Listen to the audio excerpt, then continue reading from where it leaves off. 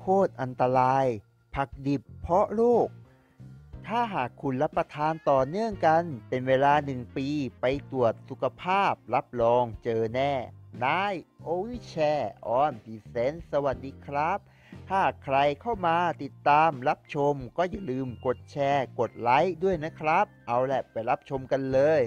สำหรับผู้ที่ใส่ใจสุขภาพส่วนใหญ่ ก็คงจะบอกว่าผักนั้นดีต่อสุขภาพอย่างแน่นอน ใช่ไหมล่ะครับ แต่มีหลายครั้งหลายคราที่รับประทานผักดิบแบบผิดๆก็ทำให้คุณเป็นโรคได้วิดีโอคลิปนี้เราได้รับข้อมูลมาจากทางการแพทย์ครับ ว่าหากรับประทานผักดิบเหล่านี้เป็นเวลา 1 ปี คุณไปตรวจสุขภาพแล้วแล้วก็คุณต้องเจอโรคเหล่านี้แน่ครับ อันดับที่ 1 โรคความดัน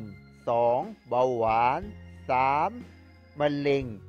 4. ไขมัน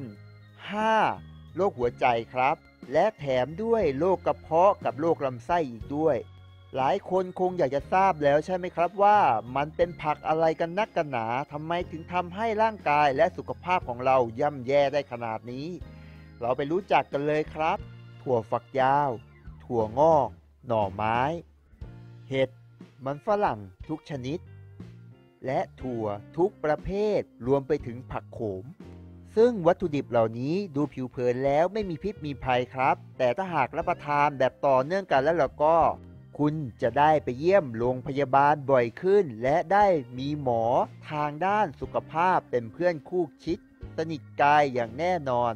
ผมหวังว่าวิดีโอคลิปนี้จะเป็นประโยชน์กับทุกท่านนะครับ และถ้าหากจะ แสดงความคิดเห็นอย่างไรแล้วแล้วก็ก็อย่าลืมคอมเมนต์ด้านล่างคลิปด้วยนะครับสำหรับวิดีโอคลิปนี้ขอบคุณมาก ๆ นะครับ ที่เข้ามารับชม สวัสดีครับ